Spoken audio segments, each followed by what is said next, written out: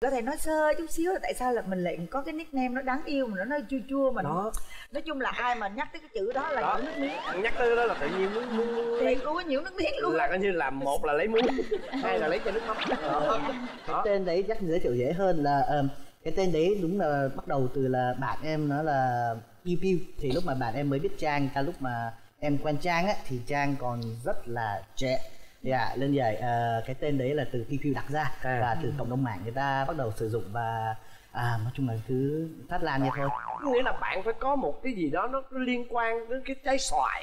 Dạ. Dạ Đó. tại vì em còn bé quá. Lúc đó là em mới có ờ, 16 tuổi là lúc em chưa chín mà Chồng em gặp em á thì kiểu nó chua quá Sợ đụng vô nó bị gì. Cái hôm mà em lần trước em dẫn vợ em đi ờ, trong một cái date nào đi. Đó, đi ăn đi ha thì lúc đấy bởi vì em không có biết vợ em bao nhiêu tuổi cả. Em nhìn vợ em thì cũng nhìn trưởng thành nhìn như nó lên đồ thì em tưởng là cũng cũng Đủ tuổi rồi đủ đó. tuổi rồi.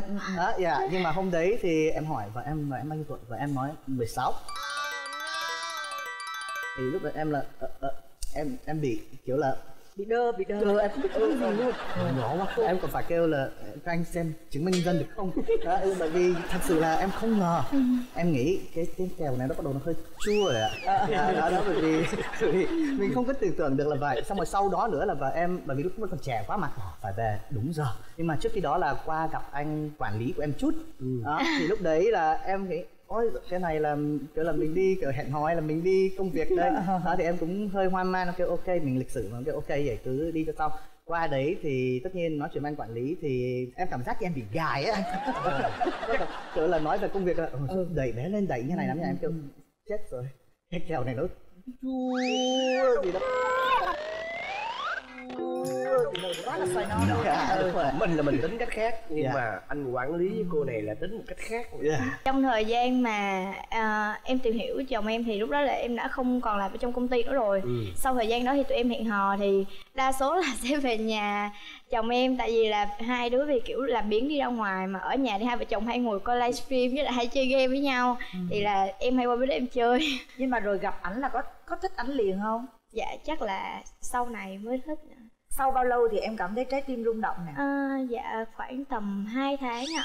Tại vì sau lâu một quá ha, hai tháng là trong thời điểm đó thì cũng có rất là nhiều người kiểu tìm hiểu em nhưng mà Ừ. họ kiểu như là không không thấy em kiểu lại á thì họ kiểu họ đi. Còn chồng em thì vẫn là luôn bên cạnh em kiểu em đi quay hay là đi đâu chồng em kiểu những lúc em cần là sẽ có bên cạnh thì em cảm thấy là ờ người đàn ông này kiểu ờ, rất là quan tâm em. Không có như những gì mà người ta nói tại bình thường ở trên mạng thì hay nói là chồng em là kiểu uh, lăng nhăng. Thành ra là lúc mà em mới gặp chồng em thì em kiểu em hơi ờ, hơi rụt vô trong xíu em không có dám sau một thời gian mà thấy kiểu chồng không có như những gì người ta nói thì bắt đầu mới nói ờ thôi cho người ta mở lòng đúng không? Dạ, mở lòng ra. Thì mới thấy là chồng mình được ngon được ngon đúng không?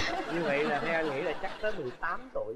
Dạ. thì hai đứa mới chính thức là yêu nhau mà em cầu hôn cổ đúng không bọn em bắt đầu yêu nhau lúc khoảng lúc mà trang cỡ uh, 17 đúng không 16 16 rưỡi 16 rưỡi đi tại vì lúc Chưa 16 17. là gặp Đó. nhau xong rồi hai ba tháng sau mới thích dạ dạ lúc mà trang cỡ khoảng 17 thì lúc đấy em cầu hôn và dự dự dự định là cưới cho năm sau luôn Ừ. dạ thì đúng năm sau là hôm mà ngày đám cưới đó là vợ em mới đủ tuổi được cỡ khoảng 10 ngày thì phải thì là, À. dạ, em Là đám cưới luôn. liền luôn Phải liền luôn Hai non là lắc lắc xoay non Chỉ một cái lấy liền. Giờ là xài chính rồi đó Dạ, dạ. đúng chưa? Luôn. anh không có nhiều Dạ, chuyện. Dạ. nhưng anh rất tò mò. Đó là cái chuyện mà em lần đầu tiên hai đứa hôn nhau á cái nụ hôn đầu tiên đó là em chủ động hay là cô ấy gợi ý? Bởi vì em cũng lớn tuổi hơn vợ em khá là nhiều thì cái cái tuổi của mình á là khác nhau hoàn toàn. Lúc mà trong mấy thời gian mà em muốn kiểu là thử hôn vợ em lần đầu đi ha thì em nói thật luôn là nó em cực kỳ ngại. Bởi vì lúc đấy vợ em đang trong cái tính mà kiểu như là không biết em giải thích như nào nữa kiểu cu kít kiểu là kiểu là bất cần kiểu lạnh lùng. Cũng Ờ, khoảng ờ, 17 ờ. 6 17 bây giờ kiểu đấy đó. Lúc đấy là em muốn gần em muốn gần gũi hơn nhưng mà em không biết cách nào được. Mà kiểu là đi trên đi taxi trên đường về là em đưa vợ em về nhà. Ờ. em đi taxi trên đường về thôi em thấy nắm tay cũng khó kiểu là vợ em này cứ cứ cứ, cứ kiểu đó. Phòng hờ không có tay để nắm luôn. Khó nhưng mà ờ, lần đầu tiên thì em nhớ đúng thì như là em thì phải em như em là người chủ động. Thì như Dạ. là trên rồi taxi. chủ động sao chủ động sao ở đâu? Cái đấy như em nhớ đúng là ở nhà em. Dạ. Không taxi mà. Nhắc gì à ừ taxi lúc mà đưa em về xong cây hôn lên môi em hơn đâu? Mình đâu? Lên môi ờ em nhớ lúc vợ chồng em kiểu vậy nè. Kiểu em em thì em cũng thấy ca như thế này xong cái cứ cứ đưa dậy xong bắt đầu kiểu cứ ngồi dậy. Em thấy xong em cũng dạ vợ em để tay lên đây. Xong rồi kiểu cũng ngại xong rồi cũng sợ là em đánh. Tại lúc em giữ lắm. Vậy mà em giữ mà.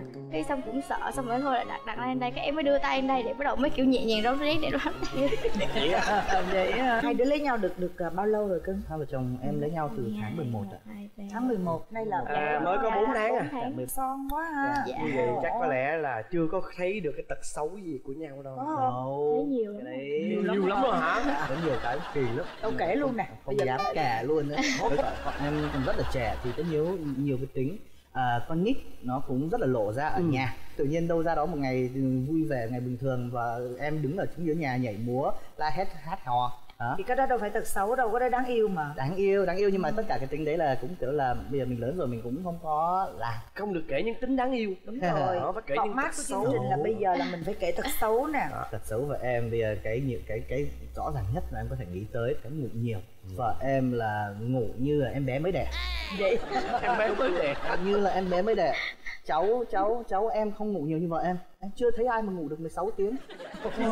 Và điều đấy có thật mà có phải là ngày này qua ngày nọ không? Hay là không, không phải hàng ngày nhưng mà có có mấy khi nếu mà có mấy- thể được thì sẽ ngủ ờ, Chính xác bất cứ lúc nào cũng Dạ, có thể được đúng không? Công việc chính của em là làm về mạng xã hội á Ừ. thì em sẽ dành thời gian cho buổi tối để làm việc. Tại vì à, ban ngày thì kiểu như em không sống vào ban ngày hay sao á? Ừ. em không hợp với ban ngày ban ngày là đầu óc em kiểu không suy nghĩ được gì cả chỉ có buổi tối bắt đầu em mới phải là check công việc xong rồi xem này trả lời kia. Em làm hết trong buổi tối luôn số ban ngày thì em đi ăn đi uống đi xem phim đi ngủ. Nhưng mà cái đó cũng không kể là tật xấu nữa ví dụ như ăn uống nè bề bộn được không nè? Có xấu ăn không nè? Ví dụ như đói bụng á là Dạ. có hay la em không? Cọc. cọc quá. Ừ, tất cả gì anh mới nói như là tật của em không? Vậy em hết quyền rồi giờ tới em đó. cực thủ em em rất là hay cằn nhằn tại vì em cực kỳ ghét ở bừa.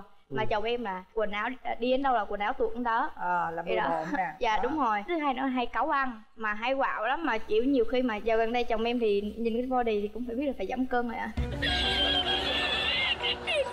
không được ăn á thì quạo quạo xong rồi hả? Nguyên một ngày không thèm cười với ai hết trơn á. Em có dở em có gì đúng không? Cũng đúng trạng thái à. Đang quạo nha đang dịch ăn quạo đó. Ở nhà có gia trưởng không hay là trẻ con? Dạ chồng chồng em thì trẻ con theo em. Không dạ, thí dụ một cái tính trẻ con đi. Ơi. Nhiều khi mà nằm nằm cái meo meo meo. Meo meo meo đi chơi cái xong rồi muốn rủ em đi chơi cùng á. Cái em không chịu đi cái quỳ xuống dưới kiểu gì nè đi mà thiếu vợ chồng đi không được. Kiểu như là phải làm cách gì dễ thương nhất để cho em đi nhưng mà em không đi đi. kế đó. Ơi Dạ, xài anh, mỹ nam kế. anh rất muốn xem lại cái hình ảnh mà em năn nỉ vợ em em có thể tái hiện lại cho anh coi được không? Đây để em em em diễn tả em Rồi, diễn tả rồi. nha. Vợ vợ đi đi mà thiếu vợ vợ chồng đi không được. Mà em đang phơi đồ. Tay Khoan đã vịt đồ à? Tay Thôi đâu bây giờ em là em em em ngồi em, em bị em ngồi xuống cái em sợ em không ngồi đứng dậy nổi. Nhưng mà em ôm hai gối em kêu kiểu như là chấp chấp hai tay như này và em kêu vợ không có vợ thì cũng nhịn nổi. Mà kiểu kiểu nhưng mà nó hơi khó làm một tí với mặt cái này